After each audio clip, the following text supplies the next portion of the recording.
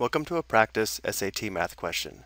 Assume that the edge of the smaller shaded square is 1 inch, so this would be a 1 by 1 square, and the edge of the larger square is 2 inches, so this outer square is a 2 by 2 square. We want to determine what is the percent of the diagram unshaded. So to find the percent unshaded, we'll have to find the unshaded area and then divide by the total area. So the percent unshaded is equal to the unshaded area divided by the total area. And I want you to discuss two methods for finding this percentage. Let's start by determining the total area, which would be the area of the 2 by 2 square. Well, the area of the 2 by 2 square would just be 2 times 2.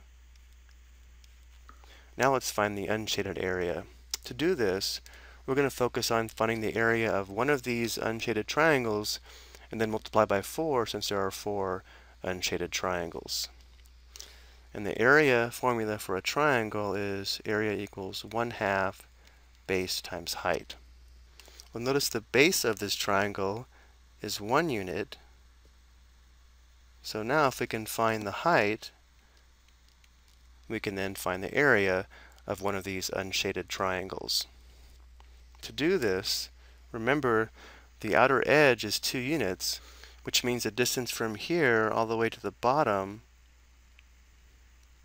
must be 2 units, and we also know that this is equal to 1 unit.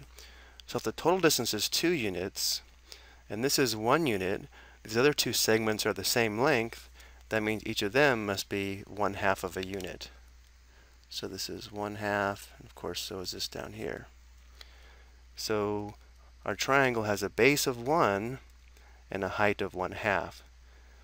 And again, we have four of these triangles, so the unshaded area would be 4 times the area of one of these unshaded triangles, which would be 1 half times base times height, or 1 half times 1 times a height of 1 half.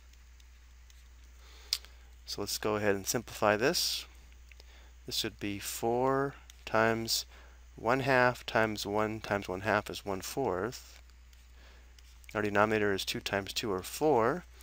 Notice how this simplifies nicely. So this gives us 1 fourth.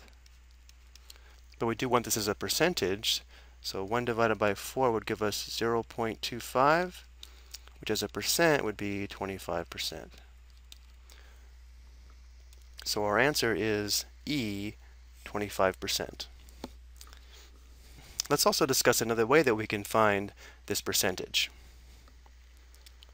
So let's go ahead and erase this and find the answer using a different method. Of course, we still want the unshaded area divided by the total area, and the total area is still going to be the area of the 2 by 2 square, so the total area will be 2 times 2. And now to find the unshaded area, let's use some trigonometry this time. If we focus on one of these triangles here, notice how it's a right triangle, and each leg of the right triangle would have to be half of 2 or 1. So this is 1 and this is 1. So this is a 45, 45, 90 right triangle, and therefore we should recognize that if the two legs are 1, the hypotenuse would be square root 2. Of course, we could also find that using the Pythagorean theorem. And therefore, this would be square root 2, and so would this, and so would this. So another way to find the unshaded area would be to find the area of this white square and subtract the area of the small black square. So the area of the larger white square would be square root 2 times square root 2, or square root 2 squared. Let's go ahead and write square root 2 times square root 2, and then minus the area of the black 1 by 1 square, which should be 1 times 1. So notice how here we have a denominator of 4, and now the numerator would be square root 2 times square root 2, that'd be 2, minus 1 times 1 or 1, which of course gives us 1 fourth, just as before. 1 divided by 4 would be 0.25, which is equal to 25%. So there are a couple of ways to approach this, but either way, the percent of the diagram unshaded is 25%. I hope you found this helpful.